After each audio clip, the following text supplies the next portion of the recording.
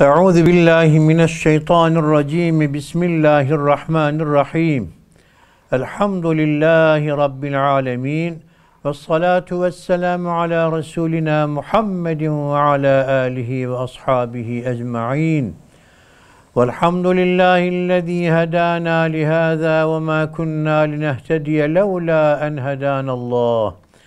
لقد جاءت رسل ربنا بالحق صلوا على رسولنا محمد. اللهم صل وسلم. صلوا على شفيع ذنوبنا محمد. اللهم صل صلوا على طبيب قلوبنا وقرة أعيننا محمد. اللهم رب اشرح لي صدري ويسر لي أمري واحلل عقدة من لساني يفقه قولي. سبحانك لا علم لنا إلا ما علمتنا إنك أنت العليم الحكيم. رب يسر ولا تعسر. سهل علينا بفضلك يا ميسر. رب زدنا علما وفهما وإخلاصا ونورا وألحقنا بالصالحين. آمين يا معين. اللهم علمنا ما ينفعنا وانفعنا بما علمتنا. آمين. بحرمة سيد المرسلين. sallallahu teala aleyhi ve sellem. Cenab-ı Hak cümlemizi, analarımızı, babalarımızı, dua bekleyen bütün Müslüman kardeşlerimizi affı mağfiret eylesin. Allahu Teala Celle Celaluhu hepimizi, evlatlarımızı, neslimiz, zürriyetimizi, damatlarımızı, gelinlerimizi çok hayırlı eylesin. Kıyamete kadar kendi yolundan hepimizi, evlatlarımız, neslimizi ayırmasın. Allahu Teala Celle Celaluhu dünyamızı, ahiretimizi mamur eylesin. Dünyada ahirette sıkıntı çektirmesin. Amin, amin, amin. Aziz dinleyenlerimiz, değerli kardeşlerim, Rabbimiz bu dünya hayatında bizi nasıl görmek istiyorsa, bizden nasıl razı olmak istiyorsa, nasıl bizi efendim bu noktada güzel bir yerlere getirmek istiyorsa, duamız odur ki, Peygamberimiz sallallahu aleyhi ve sellemin izinden, yolundan ayrılmayarak bu güzellikleri kazanalım inşallah. Onun için hadis sohbetlerimizi sizlerle her hafta devam ettirmeye çalışıyoruz. Allah hepinizden razı olsun. Rabbim bu hadisleri dinlerken getirdiğimiz salatü selamlar, dinlediğimiz o Peygamberimiz sallallahu aleyhi ve sellemin hadisleri bizi cennetine taşısın inşallah. Aziz dinleyenlerim, bugün Peygamberimiz sallallahu aleyhi ve sellemin dört madde olarak belirttiği cennete gidiş yolu, cennete gitmeyle ilgili müjdelerin verildiği hadis-i şerifi paylaşacağız inşallah. Tabi öncelikle duamız Ya Rabbi güzel bir şekilde hem öğrenmeyi, kavramayı hem de bu öğrendiklerimizi, kavradıklarımızı uygulamayı nasip eyle. Uygularken de kesinlikle ihlas ve samimiyet içerisinde olmayı nasip eyle. Riyadan, gösterişten, kibirden, gururdan, ucuptan yani kendini beğenmekten Rabbim hepimizi muhafaza eylesin inşallah.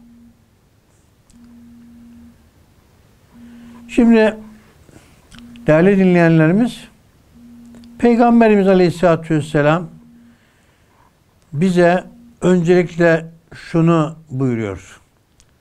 Ya eyyühen nas Ey insanlar Efşüs selam Selamı yayınız. Selamı yayınız. Selamı yaymak, selamı tanıda tanımada vermek çok büyük erdemdir. Yani bir Müslümanın selamı öncelikle vermesi kendisinin kibir, gurur taşımadığını gösterir. Kibirliler, gururlar selamı beklerler, selam veremezler. Onun için selamı yaymak lazım. Öncelikle selamı vermeye çalışmak lazım. Bu noktada ilki oynamak lazım. İlk selam veren kimse en hayırlı insandır. Onun için selamı yayınız buyuruyor sevgililer sevgilisi Hazreti Muhammed sallallahu aleyhi ve sellem. Hatta başka bir hadisinde buyuruyor ki sizin en cimri olanınız selamı vermekte cimri olandır buyuruyor. Selam parasız efendim bir o kadar da sevabı bol olan bir ibadet. Herhangi bir şekilde bir efor sarf etmiyorsunuz. Bir herhangi bir şekilde kendiniz bir yere gidip de bir şey almıyorsunuz. Direkt olarak ağzınızdan çıkan ufacık bir selamun aleyküm veya esselamu aleyküm gibi bir kelime ile beraber dünyanın sevabını alıyorsunuz ve bir o kadar da cennete doğru kapıları açmış oluyorsunuz. Selam Allah'ın bir ismidir.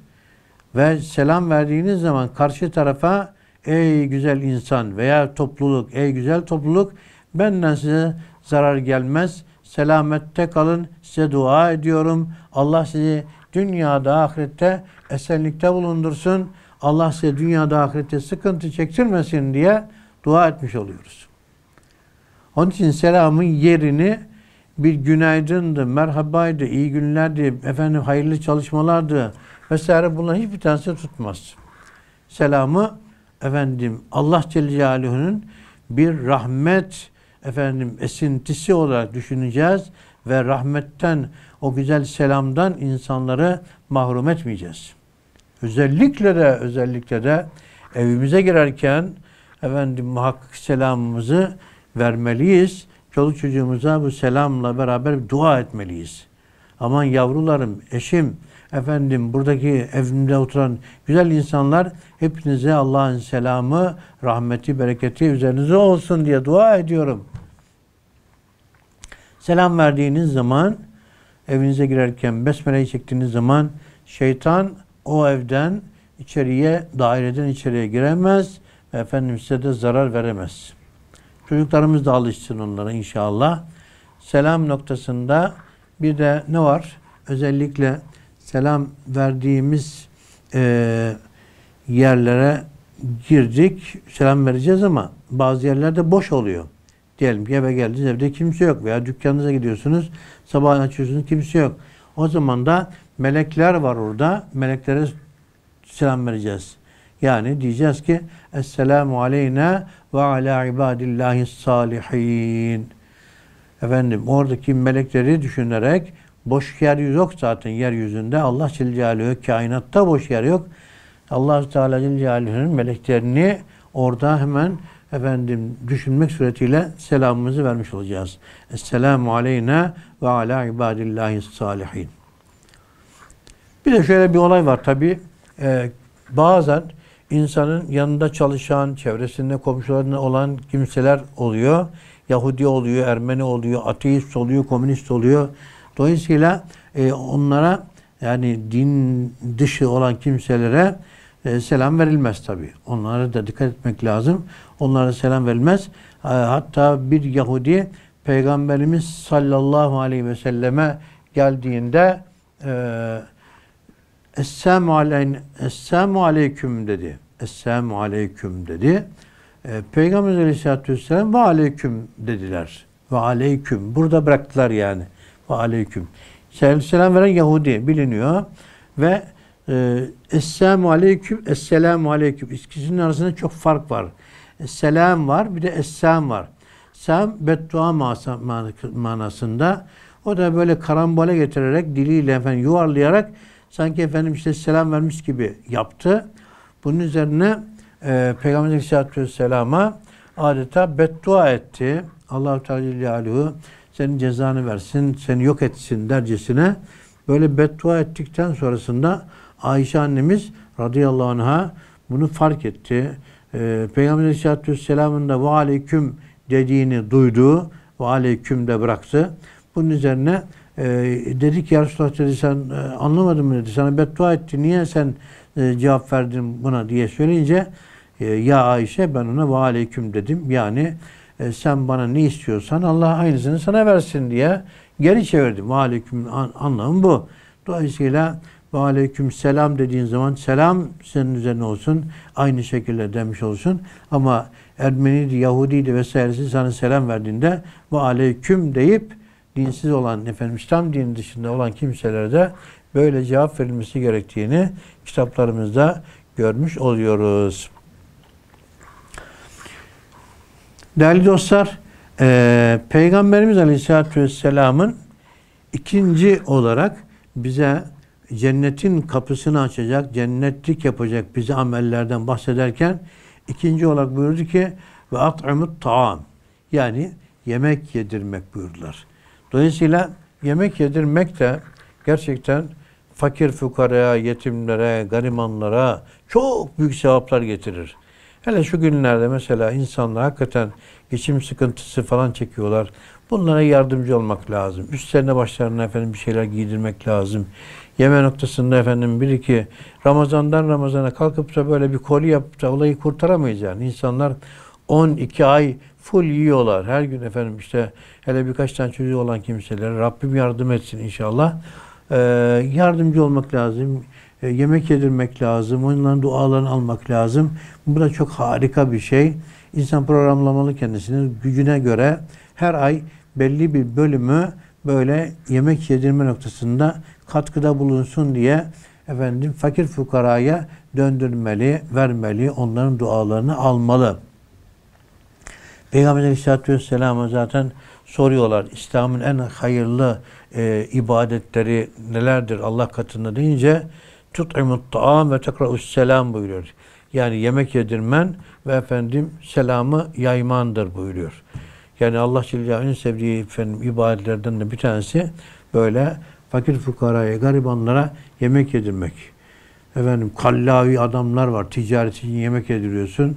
Kusura bakma yani sen orada efendim adamın sadece gönlünü alıp parasını efendim kazanmaya çalışıyorsun. Başka şeyin derdin yok. Allah rızası yok orada yani. Efendim ama asıl garibanlar, yetimler, efendim ondan sonra kimsesizler, bunlarla uğraşabiliyor muyuz? Yani bunlara ulaşabiliyor muyuz? Bunlara efendim bir şeyler verip de e, dualarını alabiliyor muyuz? Bu çok önem arz ediyor. Adam var getiriyor efendim gelen misafirini dünya kadar paralar verdirmek, vermek suretiyle o restoranlarda falan ondan sonra halbuki burada garibana götürse bir yarım kilo kıyma, işte birkaç tane patates, neyse efendim soğan bunlarla beraber acayip doğasını alır. Yani 150 lirayla efendim adamı mutlu eder, ailesi mutlu eder. Ama buraya gelince belki 1-2 bin lira para harcamış olacaksın ama karşı taraf e, işte a adam efendim böyle yemek yemek falan filan ki böyle dişine tanıştılar buna şımarık, kibirli o adama sen belki ödediğin paraların efendim ondan sonra karşılığında bulamıyorsun. Yani dünyada da efendim insan kayıpta, ahirette de kayıpta. Rabbim kazananlardan etsin inşallah. Allah hepinizden razı olsun. Bu dinlediklerimizi Rabbim amel etmeyi de nasip eylesin. Ee, dolayısıyla bu çok önem arz ediyor. Yani insan muhakkak ama muhakkak yemek yedirmeye de çalışmalı. Gücünün yettiği kadarıyla efendim ve selam yaymaya da çalışmalı. iyi bir Müslüman olmak için. Cennetin kapılarını açabilmek için. Elhamdülillah. Ee, üçüncü olarak da sevgili Peygamberimiz Aleyhisselatü Vesselam buyuruyor ki Vasilül erham. Yani e, siz bir de akrabanızla alakanızı kesmeyin akrabanızla alakalarınızı devam ettirirseniz Allahu Teala bundan da razı olur ve yine cennete girersiniz. Allahu Ekber.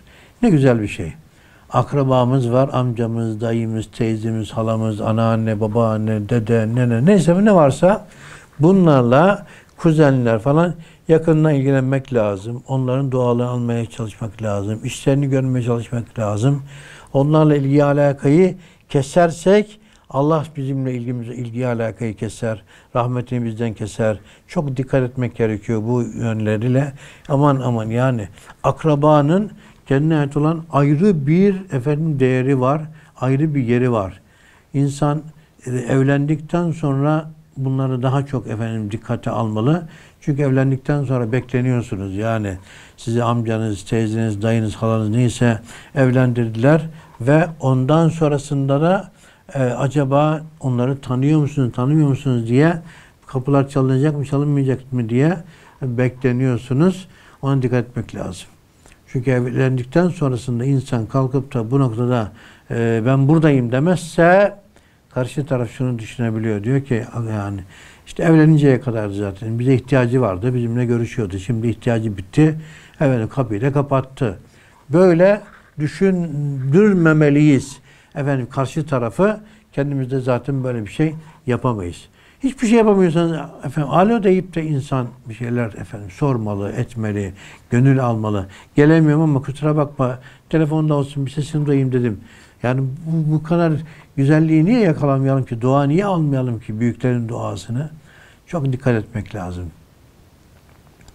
Geçen sabah e, namazında bir yere e, gittik, bir ders e, yapacaktık, bir sohbetimiz oldu. Çıkışta beni bırakacak arkadaşımız dedi ki hocam müsaadenizle dedi. Yani dedi efendim bir e, anneannem var dedi, büyüklerim. Onlara bir selam vereyim dedi, öyle gidelim dedi. Hay hay dedim. Yani gerçekten de e, uzak mesafede oturuyor. Gelmiş hemen fırsatı değerlendirdi. Sabahın erken saatinde 9 e, sularında falan böyle onları karşıdan selamladı. Dualarını aldı. Tekrar arabayla e, gerisin geriye döndük yerimize. Yani hoş bir hareket. Genç kardeşimiz ama nedir? İnsan efendim ne ekerse onu biçer. Peygamber Aleyhisselatü Vesselam'ın bir güzel efendim bize tavsiyesi de şudur. Buyuruyor ki siz siz büyüklerinize hürmet gösterirseniz, onlara yardımcı olursanız Allah Celle da size yaşlandığınız zaman hürmet gösterecek, sizinle ilgili alakasını kuracak insanlar bulundurur buyuruyor. Ne kadar güzel bir şey. Allahu Ekber. Burada hadis alimlerimiz diyor ki Peygamber Aleyhisselatü Vesselam'ın dikkat etmiş olduğu, dikkat çekmiş olduğu yer efendim canibi dikkat olarak bize vurguladığı yer şurasıdır. Yani bir insan akrabasıyla, büyükleriyle, yaşlılarla ilgisini, alakasını kesmediğinde Allah Celle Celaluhu'nun ömrüne bir bereket veriyor ve efendim o da yaşlanıyor. Yaşlanıyor yani adeta orada bir yaşlılık garantisi bile var yani. Hayırlı uzun ömür Rabbim hepimize nasip eylesin. Yaşlanıyor. Ondan sonra da karşılığında yine Allah Celle Celaluhu sen nasıl gençliğinde yaşlara baktın sana da o yaşlandığında gençler Allah nasip ediyor. Onlar da sana bakıyorlar, seninle ilgileniyorlar, sana yardımcı oluyorlar. Elhamdülillah. Evet. Peygamber Aleyhisselatü Vesselam'ın yine e, sıla rahim noktasında bize canibi dikkat olarak söylediği bir söz var hadis-i şerif. E, buyuruyor ki rızkının çoğalmasını ve ömrünün de uzamasını isteyen kimse sıla rahim yapsın. Yani akrabasıyla ilgisini, alakasını kursun, onları ziyaret etsin, onlara yardımcı olsun. Bakın ne kadar iki tane efendim önemli e, olguyu, iki tane önemli bizim için efendim değeri anlatıyor. Bir, rızkın çoğalması, iki, ömrün uzaması. Rızkın çoğalması akrabayı ziyarete bağlı. Halbuki burada diyorsunuz ki Allah Allah ben akrabama gittiğim zaman arabaya bineceğim para harcıyorum. Oraya giderken bir hediye yapacağım. Meyvesi işte alacağım falan o yine para harcayacağım. Bu nasıl olacak? Benden gidiyor gibi görünüyor. Hayır işte. Burayı biz çözemeyiz. Bu bereket kavramını zaten Türkçe literatürde çözme şansımız yok yani. Allah Celle Celaluhu en az 1'e 10 veriyor, 1'e 700 veriyor, 1'e 700 bin veriyor, veriyor da veriyor, veriyor da veriyor. Onun için biz orada söz dinleyeceğiz. Akrabamızla ilgimizi, alakamızı kesmeyeceğiz. Bu rızkın çoğalmasına sebep oluyormuş. İkincisinde de ne oluyor? Efendim ömrün bereketlenmesi söz konusu oluyor. Ömrün uzaması söz konusu oluyor. Az bir ömür yaşıyorsun ama az bir ömürde bile efendim acayip Allah-u Teala sana güzel günler yaşatıyor. O da niye bağlı? İşte akraba ziyaretlerine, akrabanın duasına bağlı. Şu da var. Yeri gelmişken söyleyelim. Sonra diğer bölüme geçeceğim inşallah. Ee, biliyorsunuz insanın zekatı, fitresi, sadakası ilk önce ihtiyaç sahibi ise akrabasına vermesi tavsiye ediliyor. Yani akraban açken, akraban sıkıntı çekerken, akraban şu kış günlerinde üstüne, başına, sağına, soluna efendim bir şey alamazken sen kalkıp da dışarılarda oynama. Dışarılarda efendim insanların gönlünü alma. Gel dön akrabanla ilgilen, akrabanla ilgilen. Efendim Allah'ın rızası burada. Allah Teala Celle o duayı almanı istiyor senden. Ve bunu yapmaya çalışalım inşallah. Son olarak dört madde demiştik ya Peygamber Aleyhisselatü Vesselam bize buyurdu ki ve sallu ve nasu niyam yani insanlar uyurken siz namaz kılın. İnsanlar uyurken siz namaz kılın buyurdu. Ne demek bu? Yani teheccüd namazına kalkmaya çalışın. Geceliğin efendim herkes uyudu. Efendim öyle sen namaza kalktın. Ne yapıyorsun? Herkes efendim Allah'tan uzaklaşmış ve efendim uykusunu uyurken, uyurken sen Allah'a yakınlaşmış oluyorsun. Allah'a yakınlığın en güzel yeri de secde yeridir biliyorsunuz. Efendim teheccüde kalktın, secde ediyorsun. Efendim secde yaptığın dualar makbul. Yani orada teheccüd için müsaade ediliyor alimlerimiz tarafından. Teheccüde indiğin zaman secdeye, secde efendim Türkçe dua edebilirsin. Ya Rabbi çocuklarımı çok hayırlı eyle. Ya Rabbi efendim sağlık, afiyet nasip eyle. Ya Rabbi ne olursun hayırlı damatlar, hayırlı gelinler nasip eyle. Ya Rabbi kimseye muhtaç etme. Ya Rabbi bize hayırlı ev, hayırlı araba, hayırlı bir eş, efendim hayırlı bir iş nasip eyle diye artık ne varsa aklında dilekçene yazacağın onları Allah-u Teala'ya arz edersin. Secde yerinde böyle Subhan Rabbil Ala, Subhan Rabbil Ala dedikten sonra bu ne kadar güzel bir şeydir. Harika bir şey. Rabbim tadını alabilmeyi nasip eylesin. Teheccüd namazı, gece namazı ap ayrı bir güzellik. Hatta e, diyor ki Ebu Derda efendim Hazretleri Ebu Derda Hazretleri mübarek takva çok kalite bir sahabi hepsi gibi mübareklerin Allah hepsinden razı olsun. Ebu Derda Hazretleri radıyallahu anh'a radıyallahu anh diyor ki bize kabir karanlığı için oradaki karanlığa karşı e, aydınlık olması noktasında muhakkak geceliğin iki rekat namaz kılır. Gece karanlığındaki kılınan iki rekat namaz kabir karanlığını aydınlığa çeviriyor. Rabbim nasip etsin. O yüzden hani derler ya kabir nur namazı. Yani kabre girmeden önce güzel bir şekilde namazını kıldığın kabir nur namazı iki rekattır biliyorsunuz.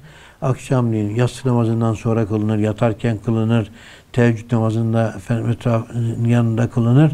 Ama illa kılmak lazım. Niye? E, gireceğiz o kabre. Allah hepimize imanla girmeyi nasip eylesin. Sonra daracık yer, soğuğu var, sıcağı var. Allah'ım ya Rabbi neyle karşılaştığını bilemiyorsun. Yılanlar, çiyanlar, akrepler, fareler, feser yani bunları böyle düşündüğün zaman kafayı yiyecek gibi oluyorsun. Ama oraya hazırlık yaparsak Tebareke suresi kabrin azabını kaldırır Allah'ın izniyle. Tebareke Mülk suresi her akşam okuyan kimseye kabir azabı olmaz. Bir. ikincisi kabir nur namazını kılan kimse Allah'ın izniyle rahatlar orada. Efendim işte dikkat edecek insan kabir azabının çoğu bevildendir, idrardandır. Bunlara dikkat edecek. Abdest alacağı zaman tuvalete girdiğinde bunlara dikkat edecek. Bir de nemmam kimse yani kabir azabını getirmiş, laf götürüp getiren kimse. Yani insanlar arasını efendim vesaire karıştırmak yerine kardeşim düzgün olalım ya. Boş ver Allah aşkına. Ondan sonra bunlara dikkate alırsak Allah Celle izniyle inşallah kurtulacağız. Rabbim Celle Celaluhu hepimize yardım eylesin. İstikamet üzere olmayı nasip eylesin. Efendim bütün dünya Müslümanlarına yardım eylesin. İnanın efendim üzerimize çok oyunlar var. Rabbim oyun oynanan hepsinin başlarını çevirsin oyunlarını.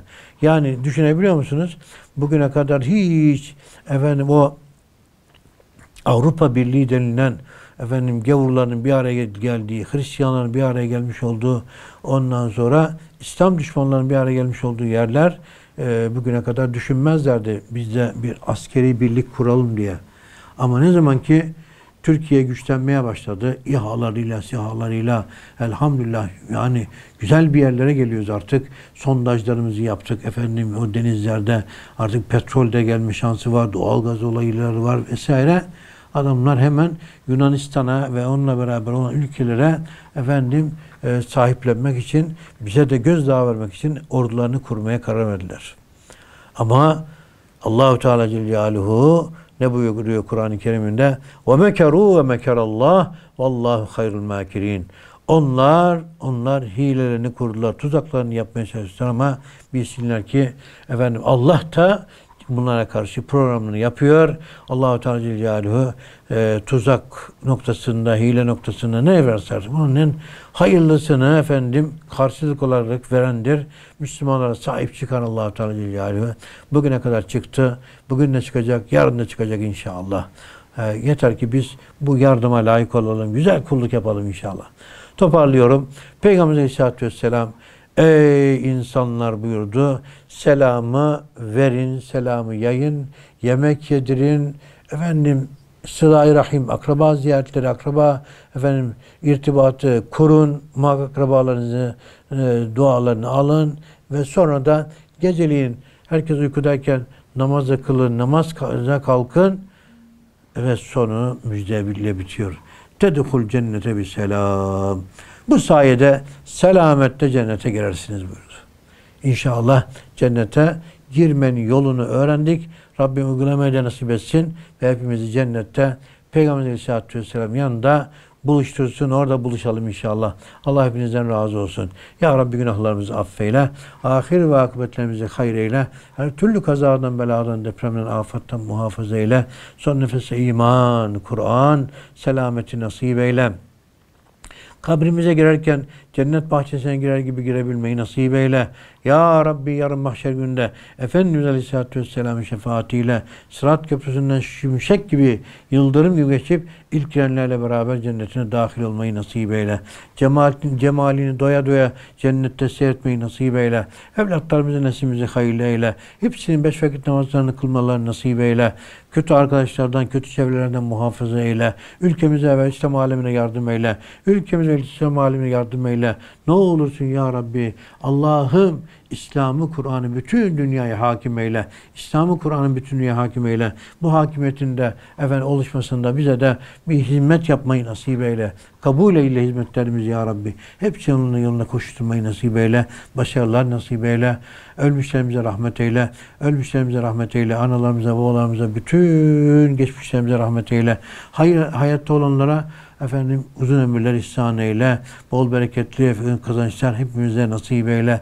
Evlerimize huzur nasip eyle. Kimseye muhtaç etme. Kendi kapından başka kapı aratma. Dua bekleyen bütün Müslüman kardeşlerimizin de dünyalarını, ahiretlerini mamur eyle.